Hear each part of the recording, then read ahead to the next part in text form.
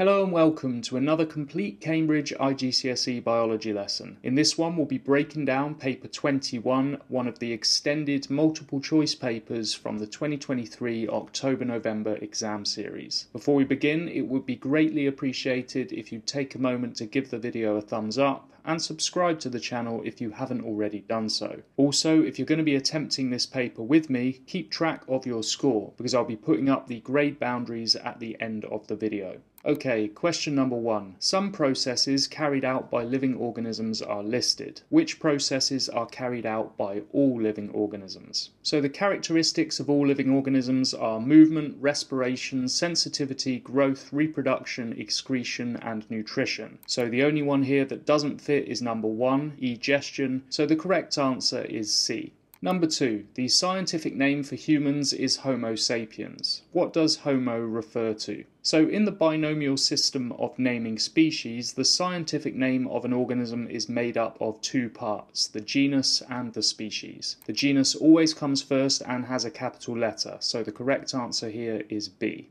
Number three, some structures found in cells are listed. Cell membrane, cell wall, mitochondria, and nucleus. Which structures are found in prokaryotic cells? So prokaryotes, like bacteria, have a cell membrane and a cell wall, but no internal membrane-bound organelles, so no nucleus or mitochondria. The correct answer is therefore A. Number 4. In a mesophyll cell, where are the chloroplasts found? Chloroplasts, like all other internal organelles, are located in the cytoplasm, so the correct answer here is B. Number 5. The diagram shows a flatworm. The flatworm has been magnified by 100 times. What is the actual size of the flatworm? So the diagram of the flatworm has been magnified by 100 times. So to get the actual size, we need to divide by 100. So 50 millimeters divided by 100 is 0.5 millimeters. However, the options given are in micrometers, so we need to do a quick conversion. There are 1000 micrometers in a millimeter, so 0.5 times 1000 gives us 500 micrometers so the correct answer is D. Number 6. The diagrams show how a cell appears under the microscope at the start of an experiment and after it's been placed in a dilute solution of salts for 5 minutes. Which statement explains what happens? So the cell on the right is a turgid cell. The vacuole is pushing outwards against the cytoplasm and cell wall. This means that water has entered the cell and as we know, water moves into and out of cells by osmosis. So the answer we're looking for here is C. Number 7. The concentration of nitrate ions is higher inside a root hair cell than in the soil. What would be required for the absorption of nitrate ions into the root hair cell? So the process by which molecules or ions are moved through a cell membrane against a concentration gradient is referred to as active transport. Active transport uses energy from respiration, so mitochondria and oxygen are both required, and the ions are transported by carrier proteins in the membrane, so membrane proteins are also required. The correct answer is therefore B. Number 8. What is the colour change shown by Benedict's solution when heated with a reducing sugar? The answer to this one is B, blue to red. Now there are several chemical tests that you need to know about, so if you need a recap, go and watch my video on topic 4.1. Number 9. The diagram shows the digestive system. Which part absorbs the most water? Now, in topic 7.5, we learned that the small intestine is the region where nutrients are absorbed as well as most of the water. So the correct answer is D. Number 10. Which statement is correct? The correct statement here is C. The shape of the active site of an enzyme is complementary to its substrate. This, of course, allows the enzyme to bind to its substrate, forming an enzyme substrate complex. Number 11. The graph shows how the rate of photosynthesis of a plant changes with light intensity at three different carbon dioxide concentrations. In each case, the temperature is 15 degrees Celsius. What is the limiting factor for the rate of photosynthesis at point X on the graph? So the correct answer here is A, carbon dioxide concentration. We know this because the greater the carbon dioxide concentration, the faster the rate of photosynthesis. Number 12. The diagram shows a test tube at the start and at the end of an enzyme experiment. At the end of the experiment, the mixture in the test tube contains glycerol, which row correctly identifies the enzyme and the substrate it acts on. So glycerol is one of the subunits of a fat molecule, the other being fatty acids, so the substrate in question is fat. The enzyme that digests fat is lipase, so the correct answer is C. Number 13. The diagram shows the teeth in the lower jaw of a human. Which tooth is a molar? So A is a premolar, B an incisor, and C a canine. So the correct answer is D. Molars have four or five knobbly surfaces called cusps for crushing and grinding food. Number 14. What is meant by chemical digestion? The correct answer here is A. Chemical digestion is the breakdown of large insoluble molecules into small soluble molecules that can be absorbed in the small intestine. Number 15. The diagram shows a villus in the small intestine. What is absorbed at X? So X is pointing to a single vessel called a lacteal. The role of lacteals is to absorb digested fats. So the correct answer is A, fatty acids. Number 16. What is a description of transpiration? So, transpiration can simply be described as a loss of water vapor from leaves. Water evaporates from the surfaces of the mesophyll cells into the air spaces and then diffuses out of the leaves through stomata as water vapor. Question 17. Parts of a plant are listed mesophyll cells, root cortex cells, root hair cells, and xylem vessels. What is the pathway taken by water in the plant? The pathway of water through the root, stem, and leaf of a plant is root hair cells, root cortex cells, xylem vessels, and mesophyll cells. So the correct answer is D. 3, 2, 4, 1. Number 18. The diagrams show the single circulation of a fish and the double circulation of a mammal. Which letters represent areas with the most oxygenated blood? So in fish, blood is ejected from the ventricle and becomes oxygenated in the gills. So the area with the most oxygenated blood is S. In mammals, deoxygenated blood from the right ventricle is pumped to the lungs through blood vessel X, the pulmonary artery. In the lungs, the blood is oxygenated before returning to the left atrium through blood vessel Y, the pulmonary vein. The correct answer is therefore B, S and Y. Number 19. What is the role of lymphocytes in the blood? So, lymphocytes are one of the two types of white blood cells that you need to know about, the other being phagocytes. Phagocytes engulf pathogens by phagocytosis, whereas lymphocytes produce antibodies. So, the correct answer is A. Question 20. A patient was injected with antibodies after being bitten by a poisonous snake. The patient recovered and survived. What describes the effect of the injection in the patient's body? Okay, so the answer we're looking for here is passive immunity, since passive immunity involves acquiring antibodies from another individual. Active immunity, by comparison, involves antibody production in the body of the host. Memory cells are not produced in passive immunity, so the correct answer is D. Question 21. Which table correctly shows the difference in composition of inspired air compared with expired air? So, all this question requires you to know is that the air we breathe in, inspired air, contains more oxygen and less carbon dioxide than the air we breathe out. And this is because oxygen is used up by aerobic respiration in the body and carbon dioxide is released as a byproduct. Number 22. Which row shows the correct combination of muscle contractions and the pressure in the thorax when breathing out? So, when breathing out, the external intercostal muscles relax and the internal intercostal muscles contract. This pulls the rib cage downwards and inwards, and at the same time the diaphragm relaxes and domes upwards. These actions serve to increase thoracic pressure, causing air to rush out of the lungs. The correct answer is therefore B.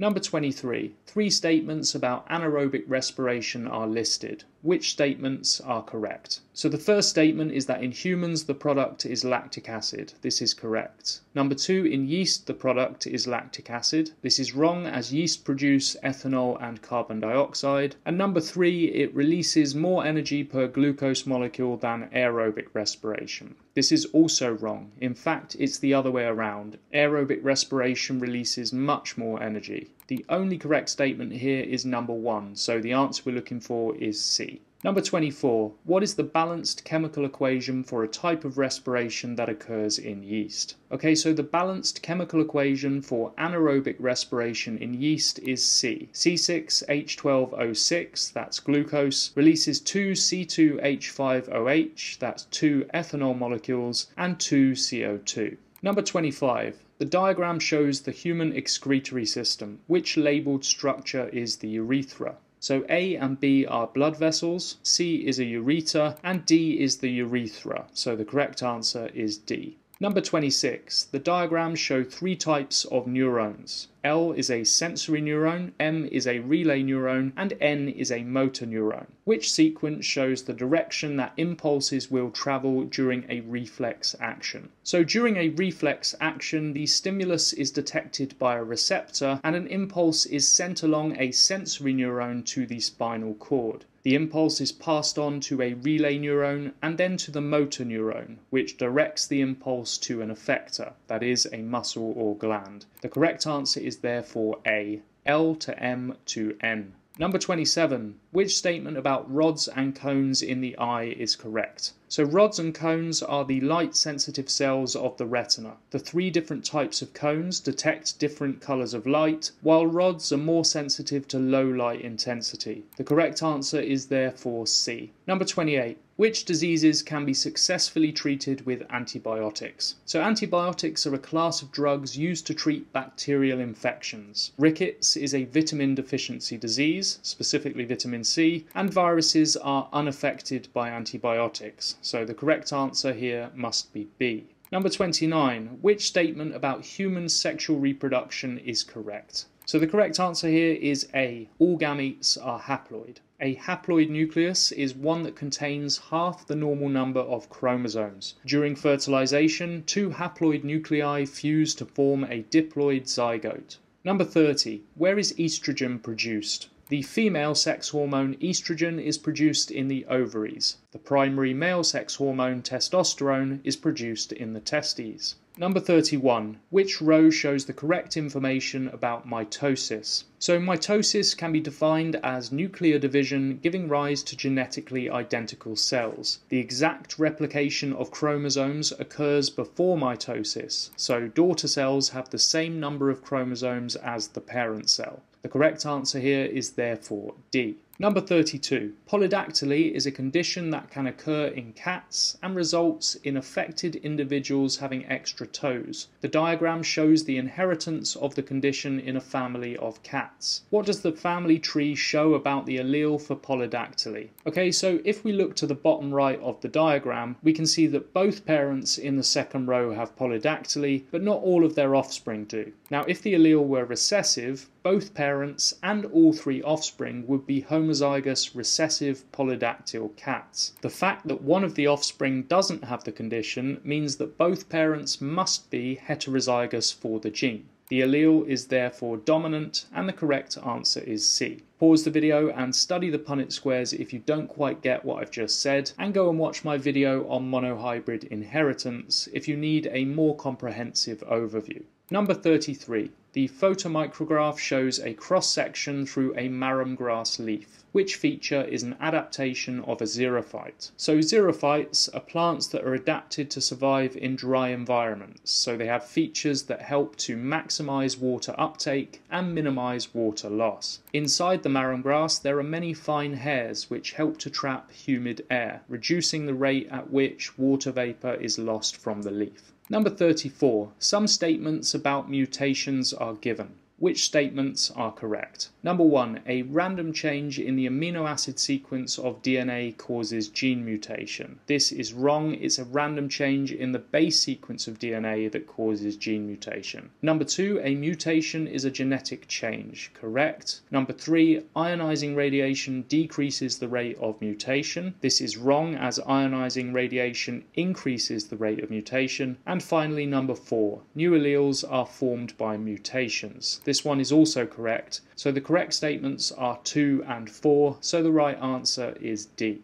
Number 35. The graph shows the growth of a population of rabbits in one area. Which statements are correct? Number one, at X, the birth rate is higher than the death rate. Yes, the population at X is growing, which means that birth rate must be higher than death rate. Number two, at X, there are no deaths and the population is limited by a lack of food. Wrong. There's no evidence that there are no deaths and the population is growing rapidly. It's clearly not limited. Finally, number three, at Y, the birth rate and death rate are equal. Yes, we know this because there is no change in population. The correct answer for this one is therefore B. Number 36. In guinea pigs, the allele for black fur is dominant and the allele for white fur is recessive. A test cross can be used to determine the genotype of a guinea pig with black fur. What would be the expected result of a test cross if the guinea pig with black fur was homozygous? Okay, so because the allele for black fur is dominant, we can use a test cross to determine whether the black guinea pig is homozygous or heterozygous. We simply breed the guinea pig with a known homozygous recessive guinea pig. If the black guinea pig is homozygous, it will have two dominant alleles, meaning 100% of the offspring will be black heterozygotes. So the correct answer is C. I recommend you pause the video again and take your time to study the Punnett square. Number 37. The diagram shows part of the nitrogen cycle. Which row shows the correct processes for R, S and T? Okay, so process R involves the conversion of nitrogen gas in the atmosphere to nitrates in the soil by bacteria. This is referred to as nitrogen fixation. Process S is nitrification. That's the conversion of ammonium ions in the soil to nitrates that can be used by plants. Finally, T is the process by which bacteria in the soil convert nitrates to atmospheric nitrogen gas, and this is called denitrification. The correct answer is therefore C.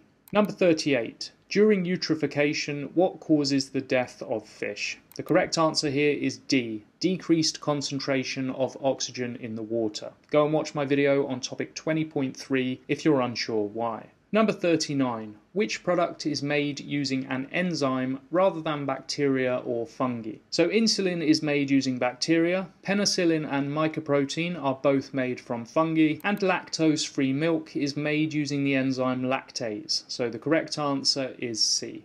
Okay, final question, question number 40. Some ways in which humans make use of organisms are listed. What are examples of genetic modification? So, number one, using yeast to produce ethanol. That's an example of biotechnology. Number two, artificial selection of sheep with thick wool. That's selective breeding. And number three, using bacteria to produce human substances. That is genetic modification because it involves inserting human DNA into bacterial DNA. The correct answer for this final question is therefore D. Okay, so that's it for another extended multiple choice paper. If you have any questions or suggestions for future videos, feel free to leave a comment below. Click the thumbs up if you benefited from this video and subscribe to the channel if you'd like to be notified when I upload the next one.